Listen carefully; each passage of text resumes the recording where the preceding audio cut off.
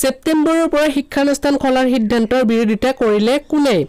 Corona ভাইৰাছৰ সংক্ৰমণৰ বাবে ৰাজ্যৰ শিক্ষানুষ্ঠানসমূহ বন্ধ হৈ আছে। কেন্দ্ৰীয় চৰকাৰৰ নিৰ্দেশনা পালে ছেপ্টেম্বৰৰ পৰা বিদ্যালয় তথা শিক্ষানুষ্ঠানসমূহ খুলিবৰ বাবে সাজু হৈছে।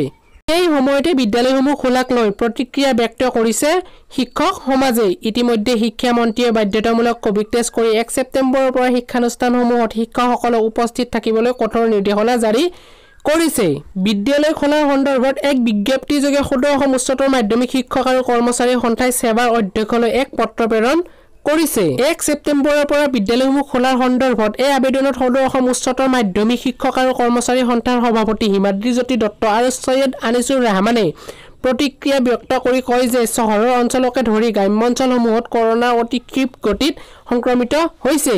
চৰকাৰী ৰেপিড টেষ্টৰ পৰিসংখ্যাত প্ৰতিদিনে কৰোণা আক্ৰান্তৰ সংখ্যা বৃদ্ধি হোৱাৰ বাবে শিক্ষানুষ্ঠানসমূহ খোলাৰ আগতে ছাত্ৰ ছাত্ৰীৰ স্বাস্থ্য সুৰক্ষিত কৰাৰ নিশ্চিতি প্ৰদানৰ বাবে আমি আহ্বান জনাইছো। একাংশ শিক্ষানুষ্ঠানত যথেষ্ট সংখ্যক ছাত্ৰ ছাত্ৰী থকাৰ বাবে শ্ৰেণীকোঠাত সামাজিক দূৰত্ব বজাই ৰখা আৰু আন কভিড প্ৰটকল মানি চলাটো অসম্ভৱ হ'ব। সেয়েহে শিক্ষানুষ্ঠানসমূহত শিক্ষক আৰু ছাত্ৰই দূৰত্ব বজাই ৰাখি পাঠদান চলোৱাটো সম্ভৱ নহয়। ইয়াৰোপৰি বিদ্যালয়লৈ অহা যোৱা কৰোঁতে সমস্যাৰ সন্মুখীন হ'ব ছাত্ৰ তথা শিক্ষকসকল। সেয়েহে এই জটিল সন্দিক্ষণত ছাত্ৰ ছাত্ৰীসকলৰ জীৱনৰ নিৰাপত্তাৰ প্ৰতি লক্ষ্য ৰাখি শিক্ষানুষ্ঠান খোলাত সমীচীন নহয় বুলি মতামত আগবঢ়াইছে সদৌ অসম উচ্চতৰ মাধ্যমিক শিক্ষক আৰু কৰ্মচাৰী সন্থাই।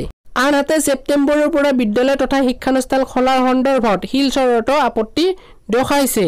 আশাৰ সভাপতি প্ৰদীপ দত্তই এই সন্দৰ্ভত সংগঠনটোৰ মন্তব্য এয়ে যে এই সময়ত বিদ্যালয় বা মহাবিদ্যালয় বিশ্ববিদ্যালয় খোলাৰ সিদ্ধান্ত উপযুক্ত নহয়।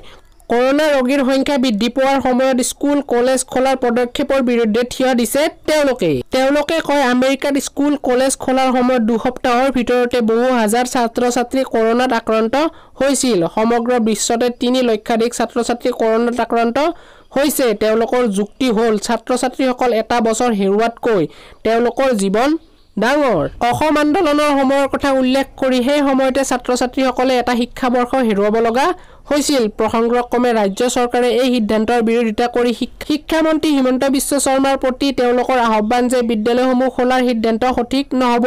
বিষয়টো তেওঁ পুনৰ বিবেচনা কৰিব লাগে। বন্ধু বান্ধৱী ছাত্ৰ ছাত্ৰীসকল ৰিজাল্ট ডট কমৰ এই ভিডিঅ'টো যদি ভাল লাগিছে এটা লাইক কৰি দিব আৰু যদি মোৰ চেনেলটোত নতুনকৈ আহিছে চেনেলটো ছাবস্ক্ৰাইব কৰি বেল আইকনটো টিপি দি মোৰ পৰিয়ালৰ এজন সদস্য হ'বলৈ নেপাহৰিব। ধন্যবাদ।